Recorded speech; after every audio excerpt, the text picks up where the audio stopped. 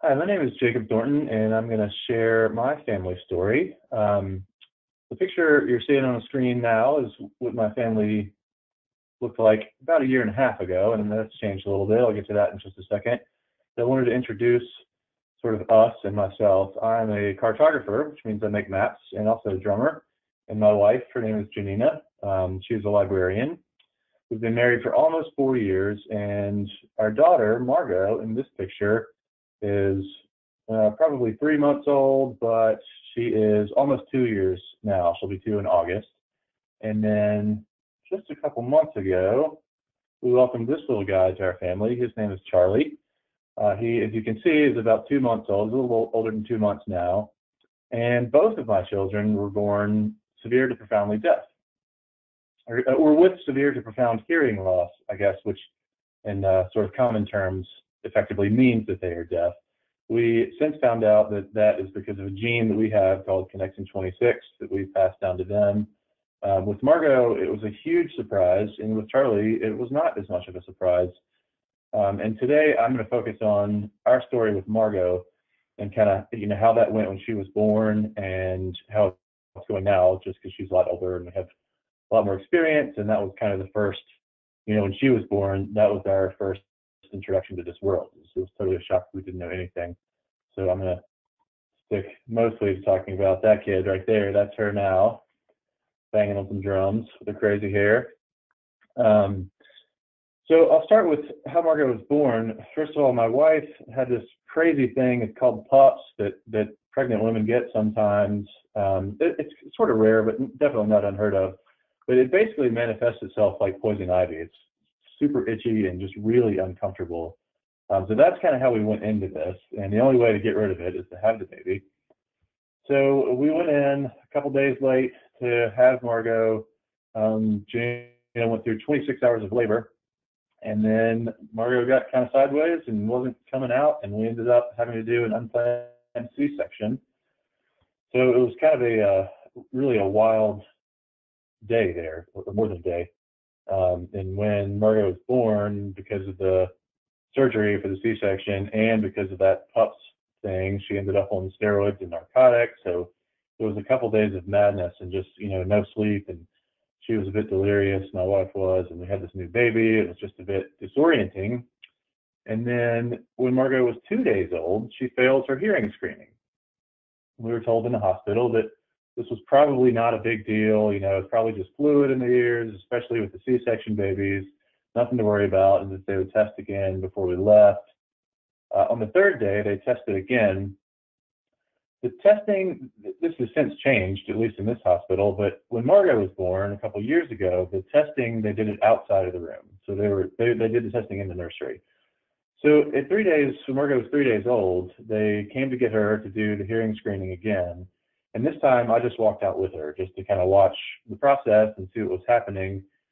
And they had the things in her ears, and there were three nurses standing around, and they were all looking at the screen and adjusting the, the earpieces. And after it was over, she had not passed again, but they were still saying that it was probably just fluid. And I just had this sense from watching that scene that it was a lot more than that. So we went ahead and um, you know plan to plan to check this out further as quickly as possible. We were given this referral sheet by the hospital. As you can see at the top, it says to look into it within two years. That was in the photocopy. So at the time, everybody that was given the sheet um, had that written at the top of their page. And not only that, but the facilities on the sheet, several of them are closed. Some of them, the building's not even there anymore the major the vast majority of them uh, see elderly patients that are getting hearing aids and that sort of thing. You know, I called most every office on this list um, before I finally found somebody that would see us. So it was kind of a, you know, not a great jump into just even figuring out what to do. I probably spent several hours calling all these numbers and trying to track somebody down. So day eight, we ended up with an appointment took Margot in and got her ABR, which is her auditory brainstem response tests, a series of three tests. And we were told she was severe to profoundly, uh, she had severe to profound hearing loss. And it, it really I guess, took a day or two and asking somebody else with some experience what that exactly meant and if that meant she was deaf. And of course, it did. Um, but at the test that day, we basically were given some literature and told that there were amazing things they could do with technology um, for kids with hearing loss so that they would be able to hear. And we basically just called our parents and drove home. Uh, at the time, we didn't know any deaf people. Um, we ended up finding a counselor on our own just because this was so shocking. We didn't know how to handle it. It was such a huge surprise. Um, so we ended up doing some counseling and really kind of grieved our expectations for this child. Um, just because, you know, especially being a musician and just, just all the hopes you have for your child when they're born and, and then this thing that you weren't expecting is there. Uh, you know, we were trying to figure out how to deal with that. Uh, shortly after that, we began researching our options. And one of the first things I thought when I confirmed that severe to profound hearing loss means that she's deaf, that my wife and I both agreed that we needed to start learning sign language. You know, that was kind of what we thought of when we thought of deaf people. Um, we didn't want to wait any amount of time to start communicating with our child and start teaching her to communicate. So in that process of just working through what this meant, what this, you know, how this was different from what we expected, what it was going to mean for our family, that was kind of the first action we took is just to learn some basic you know i love you mom dad milk that those sorts of signs. Um, diaper i think was one of the first ones we learned. And then we really dove into the the huge decision making into figuring out what our communication options were in terms of hearing aids cochlear implants american sign language um, just kind of digging through all that stuff and, and reading everything we could find. At one month, we started early intervention for Margot and had somebody coming to the house for that. Um, had a bunch of doctor's appointments, got medical advice, got um, advice from people in the deaf community. We started taking American Sign Language classes when Margot was five months old, and through that, we're able to meet a lot of you know adult deaf people and start to ask them their opinions. And um, when Margot was three months old, we found parent PCA, which is Parent Child Advocate. It's a program through Challenge Discovery, which is specifically for hearing parents of deaf kids.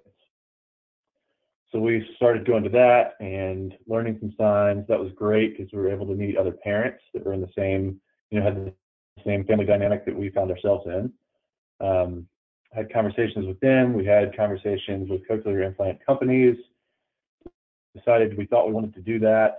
Uh, six months, Margot had her MRI, and the next three months, we really just agonized over which brand we were going to choose for all the you know different bells and whistles and number of electrodes and what works better. And we ended up choosing MED-EL and made that decision at nine months. And then at 10 months, Margot was bilaterally implanted with cochlear implants. Um, but actually, I sort of jump ahead there, and what I want to show is even before that, as we were using sign language with her, she started responding to it, which was amazing to us because this is a totally new language. You know, as you learn a new language, you're translating in your head, and it's so slow and so difficult. And yet, this video that I'll show you, she's six months old. You'll see my hand come into the screen, and I'm going to show her the sign for milk.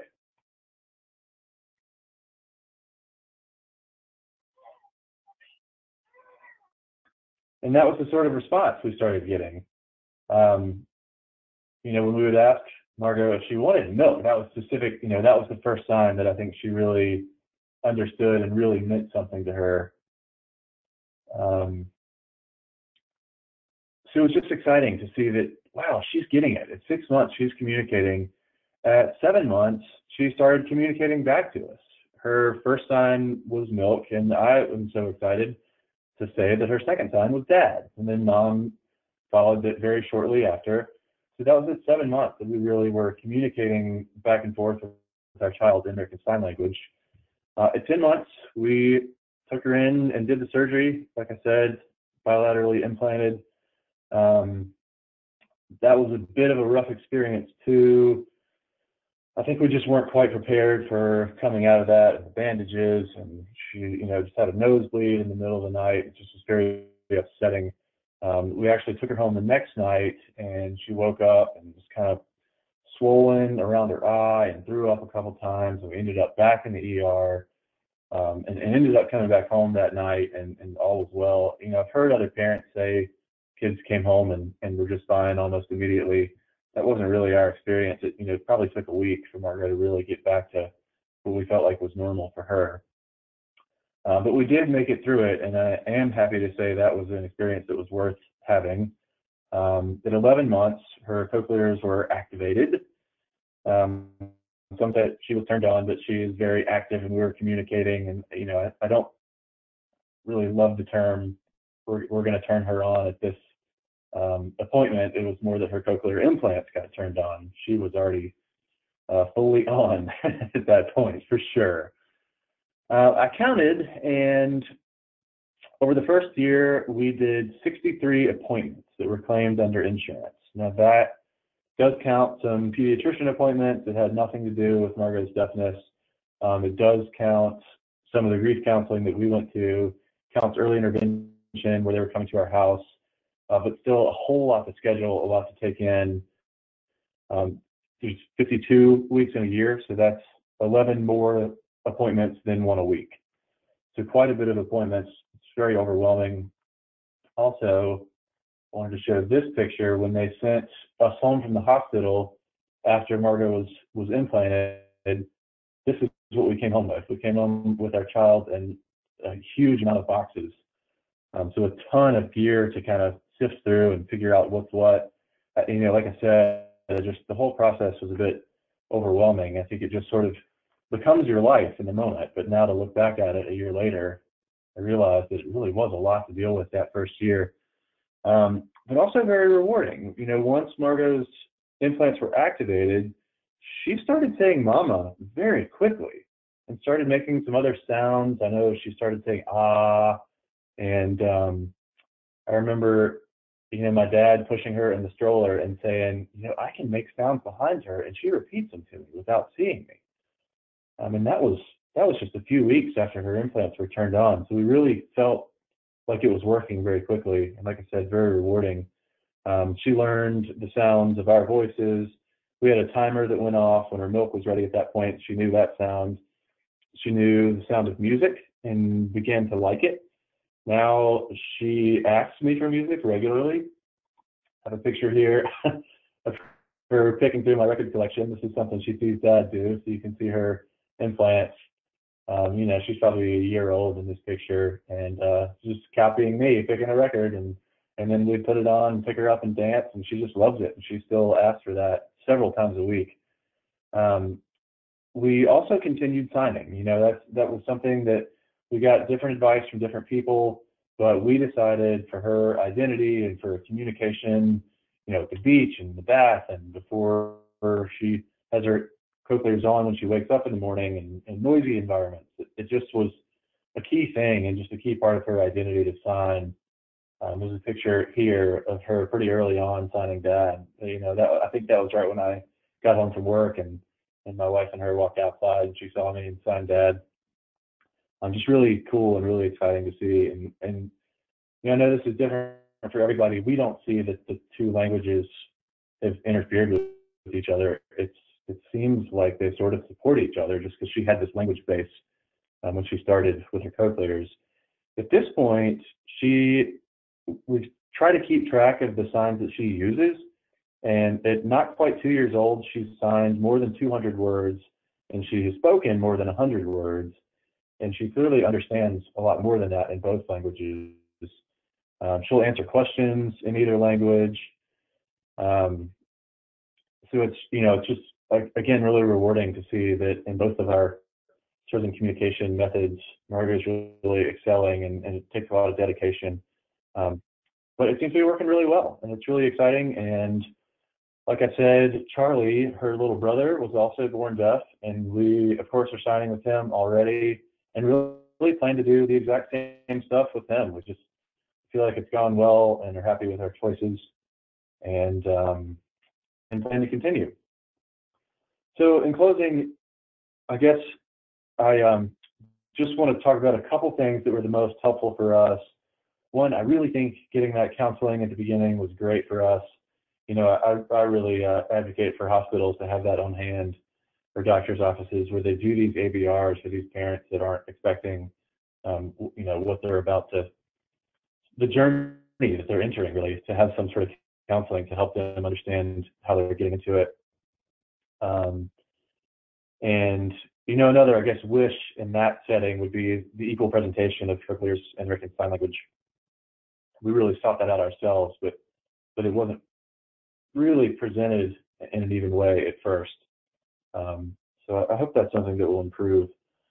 But we did, you know, we found a great audiologist, we found a great early intervention, early intervention person. Um, we have gotten amazing help from people in the deaf community in raising our deaf child.